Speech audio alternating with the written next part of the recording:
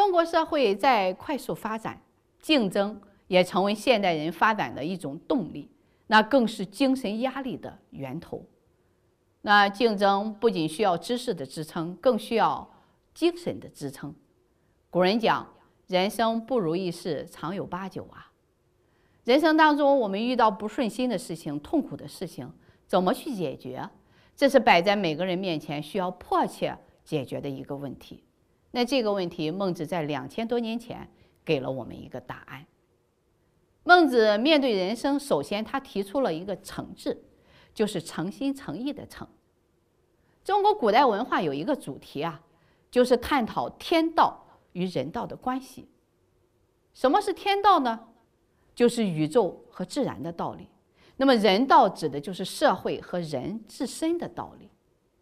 在战国中期啊，孟子的老师子思在《礼记·中庸》里面就讲到：“成者，天之道也；成之者，人之道也。”意思就是说，一年春夏秋冬四季分明，什么季节就会有什么样的气候变化，周而复始，规律运行，没有一天停止。这就是成，不可抗拒的规律就是天道。那么人道呢？成之者，人之道也。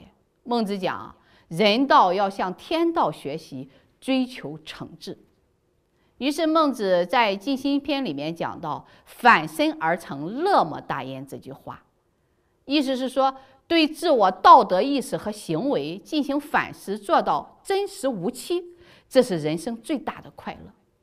所以直到今天，我们仍然强调人要讲究诚信，做到言行一致、表里合一，强调人生你要确定一个目标，并且不断的努力。那么天道。与人道的关系啊，孟子啊用一个“诚”字就解决了。那对于诚的境界，孟子一书当中也提出了具体化的内容。他说：“富贵不能淫，贫贱不能移，威武不能屈。”那么人生无论经历任何的荣辱富贵，都要坚守真理啊，不放弃心中的信仰，哪怕这个刀架在了脖子上。反身而成，乐莫大焉，这样的人生境界啊，才是生活当中最真实的快乐。如果在人生的道路上，我们因为遇到一些挫折、不如意而感到失望的时候，孟子的这种思想给我们大家提供了很好的精神境界的范本。这种精神境界是理性的、有美感的，他是把知识、理性、信仰集于一身。